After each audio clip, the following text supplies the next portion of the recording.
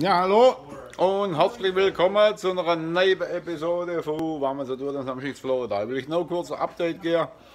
Das Brisket ist dermaßen jadi jadi gut. Jetzt sagt sich mal, da ist es. Mann, guck da mal. Äh, der Rauchring darum, Smoke Ring, die Kruste da und innen drin äh, so saftig, wie man sich noch vorstellen kann. Ich muss mal sagen, ich habe es jetzt ruhen lassen. Guckt mal, was da für ein Saft rausgekommen ist. Da, da Hanna.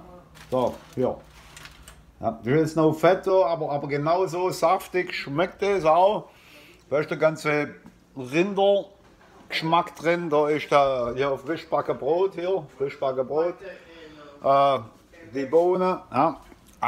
Also, ich werde es jetzt essen und meine Freunde auch. Und wenn meine Freunde von Deutschland wiederkommen, werden wir das nochmal machen. Dann machen wir mal aber Competition, werden wir sie morgen machen. Die werde ich sagen, wie das morgen abläuft mit der Competition. Rippen deutsche Art und Rippen äh, amerikanische Art. Ja. Dann können wir das mal unter uns Deutsche äh, machen, damit wir keinen Stress haben. Äh, an unserem Wochenende, wenn wir das erholen, damit das Projekt vorankommt. Also bis dann, Lundseuche Gräber 666. Bis dann, ciao.